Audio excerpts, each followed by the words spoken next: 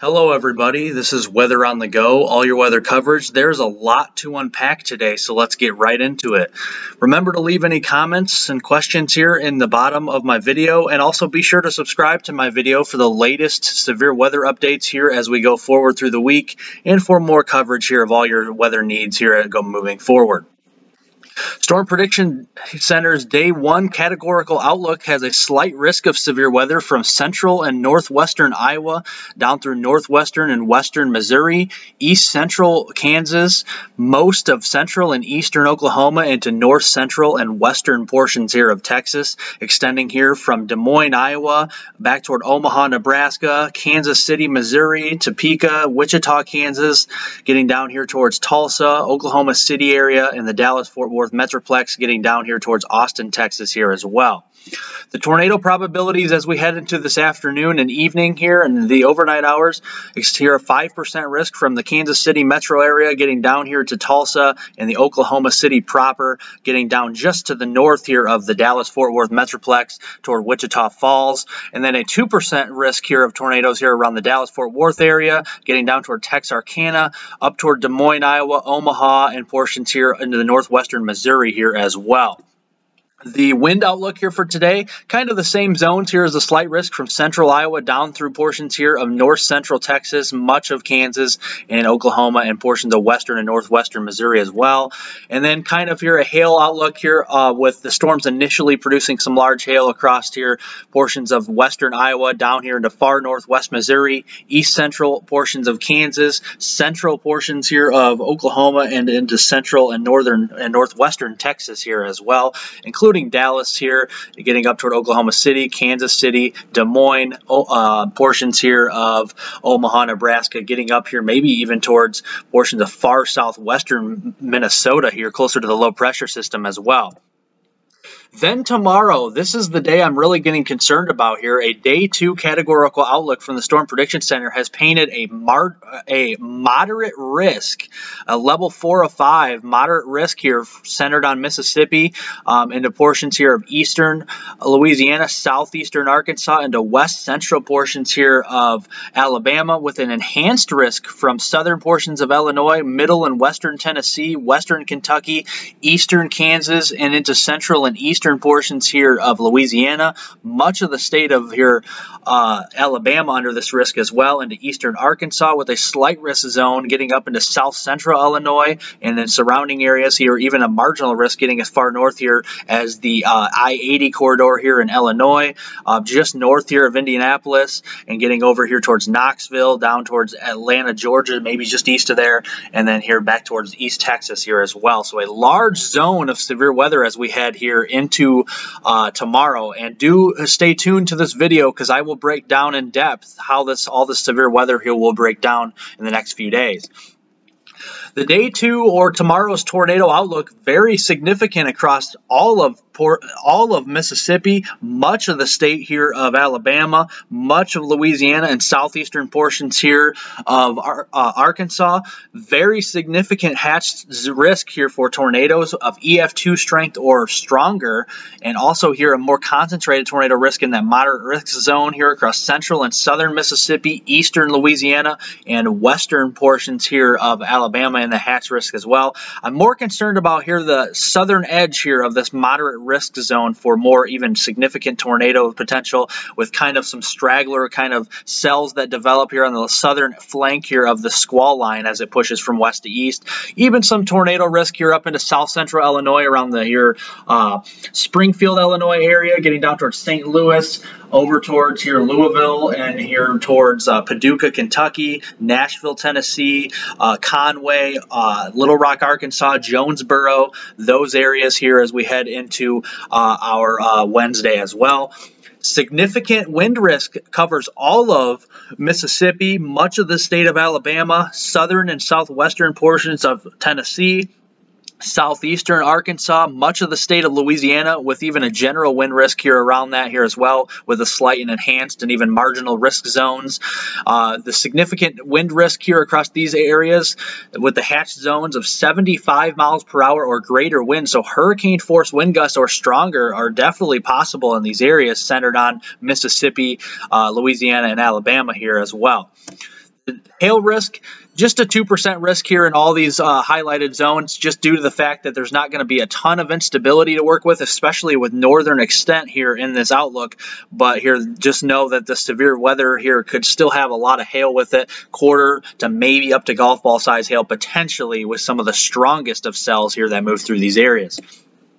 And then here as we head into Thursday, the Storm Prediction Center's day three categorical outlook shows a slight risk zone here from southern New Jersey, much of Maryland, getting down into eastern and central portions of Virginia, northern North Carolina, and then another slight risk zone here from central and southern portions here of Georgia, the northwest Florida panhandle, with a marginal risk zone across much of the eastern seaboard here from Florida all the way up here into southern New York State and into portions of uh, Pennsylvania and getting down into West Virginia, South South Carolina, these areas here as well. Now let's go back here to today's uh, today's readings here of how all this is going to work out. The dew point temperatures rising to the uh, upper 50s, lower 60s here across east central Kansas, getting down to central Oklahoma, north central Texas, and this is going to provide fuel for these thunderstorms and updrafts to here really invigorate, get going here in the atmosphere. Now we do have some instability to work with here from southwestern Iowa, southeastern portions here of Nebraska, east central portions here of Kansas, getting down to west central and central portions here of Oklahoma north central Texas, on the order of probably around 1,000 to 2,000 joules per kilogram. So enough instability with this wind shear uh, mixed in to kind of get these thunderstorms rocking and rolling across these areas once they do form here as we headed late this afternoon and especially this evening into the overnight hours as well. Now the thing is here with this setup here today, there's a little bit here of a cap on the atmosphere here, especially across southeastern portions here of uh, Kansas, southwestern uh, Missouri, much of the state of Arkansas, and into Oklahoma and Texas. Once these storms kind of uh, break that cap and kind of lift, if you will, into the atmosphere higher and can actually explode into mature thunderstorms, these are really going to be here severe, and a few of these could produce tornadoes here as well. Potentially a significant tornado, even if you're in a slight risk zone here today. Still got to watch for that with these supercells with all this wind shear in play. Uh, this bulk shear, not as intense as it's going to be tomorrow, but still a lot of wind shear across the central and southern plains, getting up into the upper Midwest here. So a lot of organization of some of these storms here, uh, getting together, growing upscale into a squall line here as uh, as we head through the overnight. As a very strong low-level jet punches in here from the south and southwest into these storms. So these storms will be moving quickly, so they will mean business. So do have multiple ways to get warnings, watches, warnings with the NOAA weather radio keep your TV on here, get alerts on your phone and any other here devices that you can, even as you're sleeping tonight, as these storms will be moving very quickly and being potentially very severe as we head through the overnight hours. Supercell composite as we head into today, decent values here across southeastern portions of around kind of Nebraska, kind of from Omaha, Nebraska, getting down here into east central Kansas, around Wichita, Kansas City, getting down to Oklahoma City, Tulsa, El Reno, Oklahoma, um, and kind of the Moore Oklahoma area, getting down toward Wichita Falls. Some decent values here, so some supercellular structures here are definitely possible as we head into the overnight hours. And then the significant tornado parameter, pretty decent values again. So can't rule out maybe an EF2, EF, EF3 strength tornado potential here as we head into the afternoon. Some decent values here in the middle of the uh, middle of the road type value. So still, if there's a chance, you definitely hear. Uh, could still have a strong tornado here as we head into tonight, even in that slight risk zone. So definitely here, be on the lookout for that. Hodographs here as we head into today, pretty curved across at least central portions here of Kansas, eastern Kansas, and getting down here into Oklahoma. Some pretty curved hodographs here. Uh, pretty impressive sounding around the Wichita area, getting down here into Oklahoma City proper. So do have to watch these for a couple of tornadoes. Like I said, maybe a strong tornado potential if one of these cells can kind of uh, work off their own energy as we head into tonight with that strong low-level jet punching in here from the south and west. And this is how it looks here on the reflectivity as we head into today. Thunderstorms, once they break that cap, they will start to pop here across central and eastern portions here of Kansas, getting down into Oklahoma. A couple um, isolated embedded supercells here, and then they start to grow slightly more upscale, especially here with northern extent as we head here into southeastern portions of uh, Nebraska, getting into northeastern uh, Kansas, northwestern portions of Missouri, and then eventually getting to southwestern Iowa here as well, heading toward the Des Moines area. A couple supercellular supercellular structures around Wichita, getting over toward Kansas City, getting here, getting attacked together. A couple supercell thunderstorms line segments down toward the Oklahoma City area, maybe just to the southwest. But these will start to grow upscale, maybe kind of a bow echo developing with a couple of these as they grow upscale into more of line segments, bowing structures here just south potentially of the Kansas City metro area, getting into east central portions here of Kansas, maybe another bowing structure down here into Oklahoma with a surge of wind could potentially up to 70 miles per hour with these storms. A lot of frequent lightning, a lot of heavy rain, hail, and yet again, the threat of a tornado or two along here as well, with this chance of a strong tornado, at least early on in the stages with the supercellular structure here of the storms. And this will only just continue to grow upscale into kind of a squall line uh, across Missouri, down into portions of northwest Arkansas, uh, east central here, Oklahoma, getting down toward the Dallas Fort Worth Metroplex area, Texarkana. Got to be on the lookout for that here as we head into the overnight hours. And this will only to continue to invigorate as we have a very powerful low level jet feeding into these storms. So these storms will, once they get rocking and rolling, will be ongoing for a very long time here as we head into tonight and even in through the day tomorrow. Looking at it further to the south, how these storms have developed, a couple of here uh, bubblers trying to develop here across southwestern portions here of Oklahoma getting into northwest Texas. Once these start going here, some line segments, some embedded supercells here will start to develop, and they will move to the east here with some bowing structures as well. And this will head into the overnight hours. A very intense squall line is going to develop as a low-level jet will continue to feed into these storms here as we head into tomorrow. This is around midday as storms will be getting into Little Rock, Conway, Jonesboro, getting down toward Texarkana, getting just north and west of Shreveport, getting down here toward College Station, uh, down toward Houston. Got to watch a couple of these storms here down there as well. And then we head into tomorrow. This is how tomorrow's here severe weather threat will uh, here only work out. And this is actually looking very concerning, very significant risk tomorrow. So do be weather aware as we head into our Wednesday from areas here from Arkansas, down through Louisiana, Mississippi, Alabama, Tennessee, even really up into Illinois as well. So some very powerful storms are expected across this area. Um, as the Storm Prediction Center paints a moderate risk, four out of five. These are pretty rare, even though you've had one this year. This one does mean business, and this one looks more impressive than the one I think last week too. So you do do have to take this very seriously, especially on this high of a scale of severe weather threat. But this is how it's going to work here. Uh, dew point temperatures in the low to mid 60s, some upper 60s around the Gulf, southern Gulf Coast states here, around southern uh, portions of Louisiana, where a lot more instability will get together here. And this will only continue pushing from west to east as this front moves from west to east here with these line of storms. The instability here, starting off kind of low across these areas, but starting to build as we head into the afternoon and peak heating of the day with the highest values centered on Louisiana, southern and central portions here of Mississippi. And that's why I think these areas just south of Jackson, Mississippi, I think probably Jackson on south down toward New Orleans, Hattiesburg, maybe getting up toward Tuscaloosa, Birmingham, and then down towards the Shreveport area and farther south, Baton Rouge.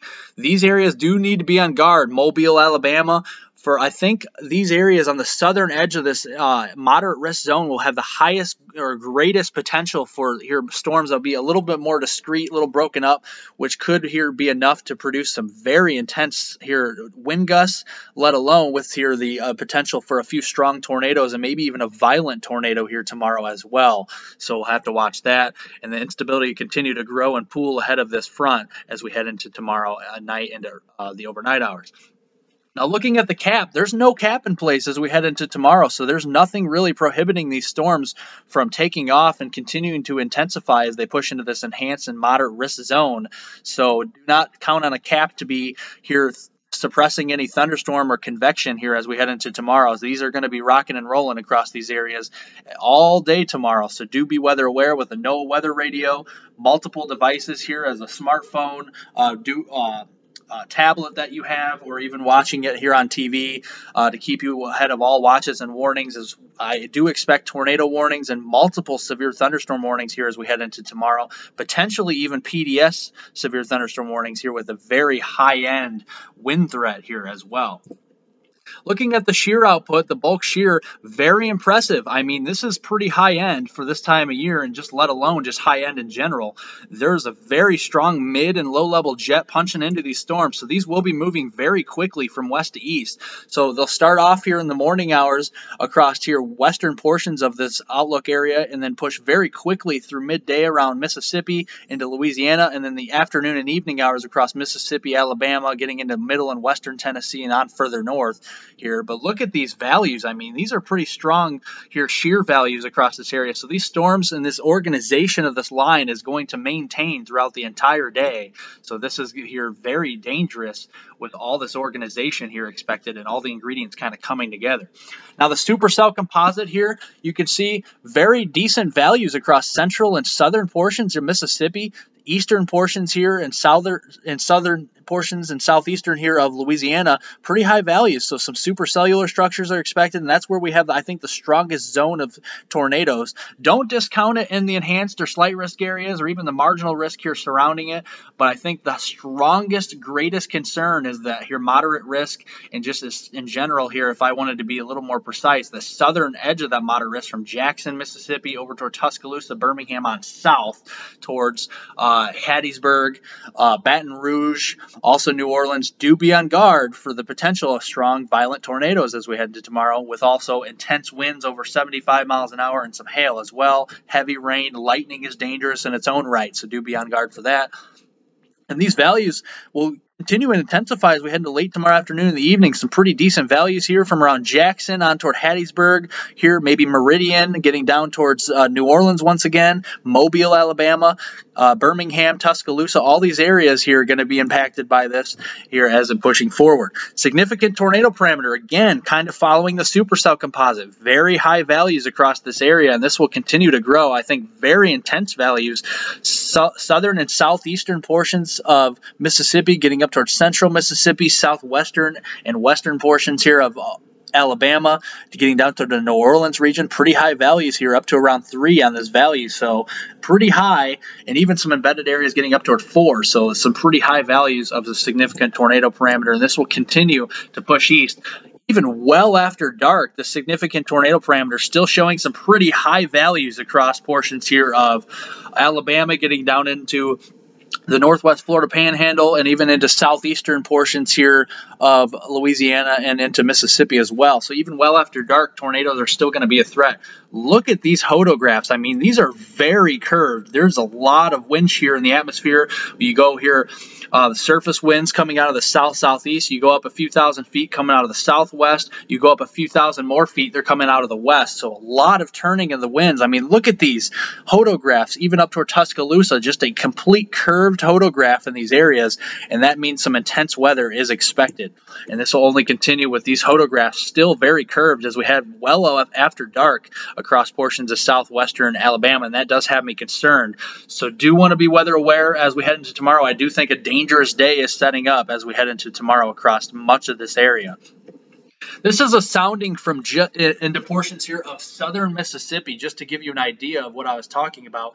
Winds will be coming in here at the surface out of the south southeast. You go a few thousand feet up, they'll be coming out of the south and west. You go a few thousand more feet up, they'll be coming out of the west southwest, if not straight west. So a huge turn of the uh, of the environment here with rotation in the atmosphere, and that's why the sounding has a PDS tornado tag on it here. So this is eh, very indicative here of the potential of those EF2, EF3, or stronger type tornadoes across those areas, and that here is expected to eh, here play out as we head into tomorrow, unfortunately, for those areas once again.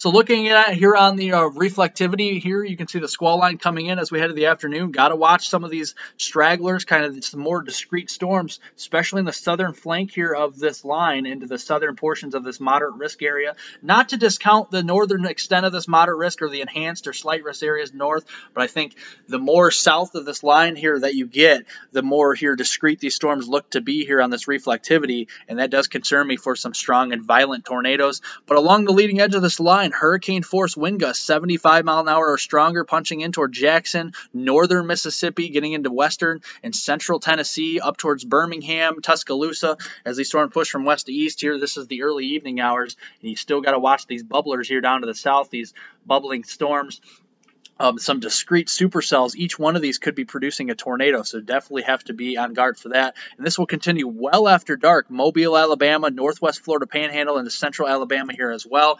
And then this line will continue to race east toward the Atlanta region, getting down here towards the northwest Florida Panhandle, Pensacola, those areas as we head into our um, Thursday.